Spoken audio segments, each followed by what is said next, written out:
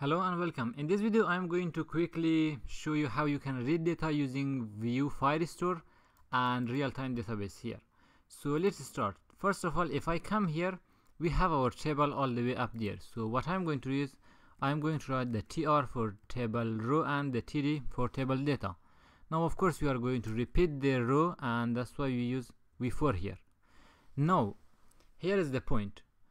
You have to say okay product in products which refer to the product here. If you write it down for now you have the product here which is an array.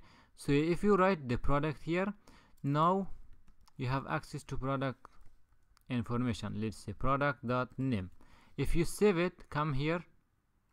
It's showing the product name here. Very easy. So which product is this? You have products. If I come here all the way down you have a product array here if you remove it save your file come here still you have your data. What is this now? So how it is going to work is when you define your firestore here you say products. This is going to store all the information in the product and it is going to take that from database. And beside this one you have access to product in your HTML content here. That is the fun, the fun part of the Vue Firestore now if I come to the console here into the Vue console I refresh it going to the product component. Where is the product here? We do not have it. If you want to show you have product of course this is the singular one which is empty. If you want to have them here what you can do is you can scroll down. I will control Z here and we will add the product array here. This time if I refresh the component let's see we have our array here and inside the products which is the plural all the products we have here. Now you have access to everything you want here. This works just fine for now but we will do uh, some changes in future and how it is going to work. So this is how you read data. You can put the price here you can modify anything you want. You can have the content. So let's add another field here another product here. This time we click on the add and let's see how it is going to work. I say real-time database so let's say we are going to sell a t-shirt. And this is going to be description for t-shirt. And the price is going to be $40 and let's say it is a t-shirt. And it is going to be black. We don't pick the image for now. We didn't work on that one. You click on the save changes.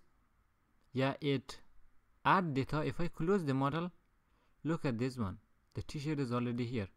We didn't do any changes. We didn't watch. We didn't listen to any listener. It just pop it here. How it work? This is the magic about Vue firestore it is going to listen for the changes and update that automatically here. So we have to close our model window after we add data. So that is easy. Like we have already done that. Once you add data to the database all you have to do is you have to oops. You have to hide the model the product model. So let us try that for the last time.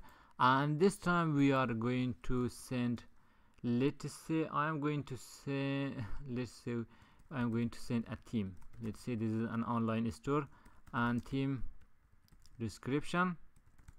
The price is going to be $30 you can add some dollar sign here and this is going to be theme and this is for WordPress and this is responsive for now. You can save data of course. If you are wondering why we add this one this is just for testing. In future we will store that as a different array in the database. For now we are storing like let's see one of the example here. Mm, I don't know how they are not ordered here. T-shirt comma black. It is not the right way of course. I'm going to fix it in future videos so save the changes it should close the model window and it should update our table automatically here. Save changes. Yes. Oh where is the team? yeah here's the team here. Updated so why it is not ordered correctly? So that is what we fixed in the next video. It should be ordered correctly like you order that uh, based on created time or any other type so that is what we do in the next video. Thank you for watching